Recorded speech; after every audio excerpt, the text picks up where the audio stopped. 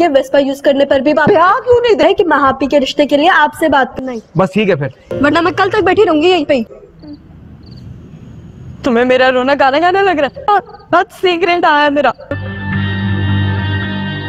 दोस्तों के साथ सेलिब्रेट करने जा रहा हूँ, तुम्हें क्या है? अस्सलाम viewers A R Y digital का बेहतरीन ड्रामा सीरियल माई डी का आने वाला एपिसोड बहुत ही ज़बरदस्त होने जा रहा है। रईला आलिया से कहती है, अब वो दिन दूर नहीं है, जिस दिन मैं और हबीब इस घर के मालिक बने बैठे होंगे। मैंने हबीब की बूढ़ी माँ को भी अपने ऊपर तरस खाने पर मजबूर कर दिया है। अब मैं आलिया, रईला से कहती है, मुझे लगता है मीना भाभी की जगह आपको आयशा पर नज़र रखनी चाहिए। जब तक आयशा भाभी उस घर में रहेगी, मुझे नहीं लगता कि आपको आपका हक मिल पाएगा। इसी के साथ लैला आलिया से कहती है, तुम्हें क्या लगता है, क्या नहीं लगता? मुझे इसकी फ़िक्र नहीं है, लेकिन मैं तुम्हें इतना बता देती हूँ, बहुत जल्द मैं इस घर की मालकिन बनने जा रही हूँ।